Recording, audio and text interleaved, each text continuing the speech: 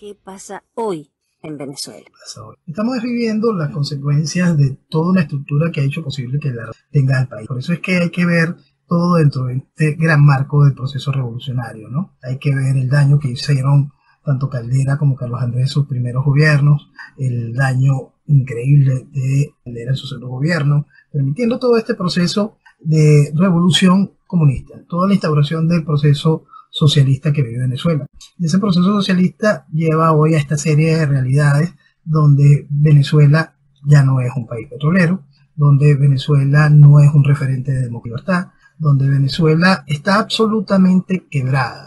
Tú sabes, Jenny, que nuestro billete de más alta denominación es el billete de 50 mil bolívares. Hoy con el dólar llegando a casi 2 millones de bolívares, estamos hablando de que ese billete está alrededor de 2 centavos de dólar, el billete de más alta denominación. Este, lo que Venezuela está viviendo en economía es una cosa que es increíblemente absurda y entonces escuchas la mentira, porque todo sigue siendo dentro del marco de la mentira. Escuchas a la dirigencia económica gremial hablando y diciendo correr entre sus estructuras mediáticas de que el gobierno está buscando avanzar en una negociación porque necesita del poder privado Señores, llevamos 20 años de revolución comunista. ¿Quién cree que este poder privado no pertenece al Estado revolucionario comunista?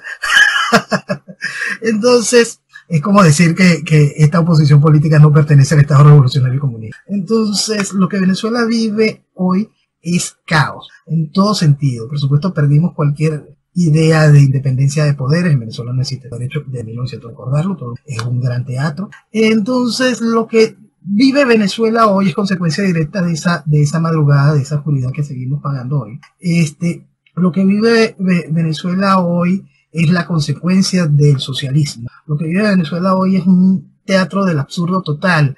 Que, que, que, que, raya constantemente en lo ridículo, ¿no? Y en ese ridículo tenemos aliado llamando hacia una nueva agenda de calle. Tenemos a, técnicamente la imposición de, eh, por parte de la comunidad internacional, sobre todo la europea, y pronto lo, lo sentiremos de manera directa por el, gobierno de Biden, la imposición de esa estructura de oposición como referentes de algo. Eh, y, y, decimos referentes de algo porque el, el desgaste es una realidad, no son referentes absolutamente nada, son, son como lo que decíamos desde el principio, son la nada, un chiste. En aquel tiempo todavía el país no terminaba de comprenderlo, pero ya el país ha entendido bastante de qué va. El asunto hoy es que este país que está viviendo esa serie de realidades a consecuencia de el 4 de febrero, este país que no tiene soberanía, no tiene economía, no tiene, no tiene salud, no tiene comida, no, tiene nada de lo lógico de, de, de, lo que es natural en un país. No estamos hablando ya ahí de lo que es Venezuela, sino de lo que es un país. Este país se está preparando para seguir la conseja impuesta desde Europa, y comprada y vendida ahora por Europa, de que la vía de la solución de Venezuela es electoral, negociada electoral. Y ahí vamos a un par de puntos con respecto a lo de negociada y electoral. Yo siempre insisto que parte del hecho de estos cuentos de negociación y justicia transicional son viables, son negativos. Una cosa es lo negativo, otra cosa es lo viable. Son viables en el concepto de que si tú eres un movimiento guerrillero, tú eres un movimiento terrorista, tú eres un movimiento de lo que sea, y quieres el poder y logras eh, sublevar a un pedazo de la población y logras demostrar que tienes poder de fuego, que el gobierno en sí no puede funcionar de manera regular mientras tú estés presente, ahí se puede llegar a un proceso de negociación este, que trae la desgracia como la que vivió Venezuela, pues trae la desgracia de pacificar a una partida de criminales. Este, si no lo pudiste destruir militarmente. Venezuela sí lo hizo.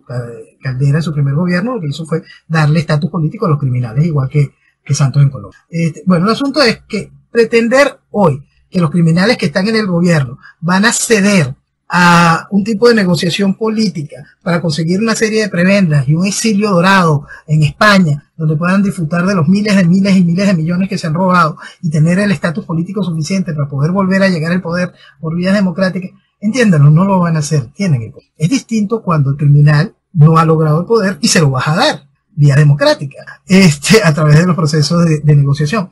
Pero cuando el criminal es el que tiene el poder, todas y cada una de estas ofertas de negociación, como las propuestas para ir a ese proceso de elecciones limpias, lo único que viene es a garantizar la vestimenta democrática del criminal para que siga manteniendo su de gobierno. Entonces, lo más increíble de todas y cada una de estas cosas es que este país que está tan huérfano políticamente de liderazgo, que encuentra hoy esta, esta gran concertación de lo imposible para seguir manteniendo al país destruido, no encuentra cómo despertar, no encuentra cómo despertar porque se le ha hecho demasiado daño, se le rompió la lógica al venezolano en todo sentido. Y el asunto es muy sencillo para recomendar. Entiéndanlo. Todo lo que nos trajo hasta aquí, todo lo que nos mantiene aquí.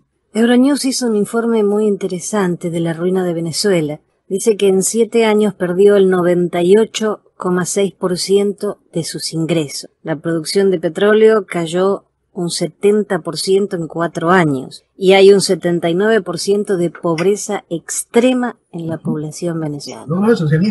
Logros del socialismo, logros del socialismo. Esto es muy importante siempre hacerle referencia. Si usted no toma en cuenta en serio el ente ideológico todo este proceso, si no logra entender el componente ideológico completo, proceso revolucionario, neocomunista, fundamentalista, si no logra entender cada uno de esos ejes, si no puede abrir un poquito la ventana de su casa, salir y darse cuenta de que ese, ese mismo componente está formando parte de un proceso global, que la revolución es una sola, que en Venezuela se ensayaron muchos de esos procesos, que Venezuela fue saqueada para muchos de estos procesos. Si no se logra entender que la destrucción que vive Venezuela hoy es solo un ejemplo de lo que van a vivir muchas de las naciones, si no se logra entender que en el caso de Venezuela parar ese proceso de destrucción y, darle avance a la destrucción de Venezuela es algo increíblemente viable y con eso fomentar el proceso de transformación que vaya en contra de esta idea tan increíblemente criminal, no vamos nosotros a sobrevivir, pero lo que viene mañana para afuera es simplemente la repetición de lo que Venezuela este martes, el Departamento del Tesoro de Estados Unidos emitió una licencia que exime de las sanciones impuestas a Venezuela algunas transacciones para operaciones ordinarias de puertos y aeropuertos. Y así empezamos. Así empezamos porque, recordemos, desde el principio de 1900, del 2019 nosotros explicamos que la llegada del guiado venía a cumplir dos misiones fundamentales, la reinstitucionalización de la tiranía y la aceptación internacional de la particular forma de gobernar de la tiranía. Este es otro de los puntos. Eh, por supuesto que la llegada del gobierno de Biden a eh, eh, el ejercicio de la Casa Blanca viene a terminar de cerrar ese ciclo que la labor del guiado, darle esa aceptación internacional de, de, de gobierno. Ahora, para que pueda haber algún tipo de esquema de elecciones libres y justas, pronto la Secretaría de Justicia de los Estados Unidos va a tener que retirar el cartelito donde ofrece la recompensa por la cabeza de, Maduro y de, todos los miembros del alto gobierno, porque si estamos llamando a las elecciones limpias y participativas con ellos y si se va a garantizar el espacio y se va a hacer que la oposición unida vaya hacia las elecciones de alcaldes y gobernadores, por supuesto, es la reinstitucionalización y la aceptación internacional de esa.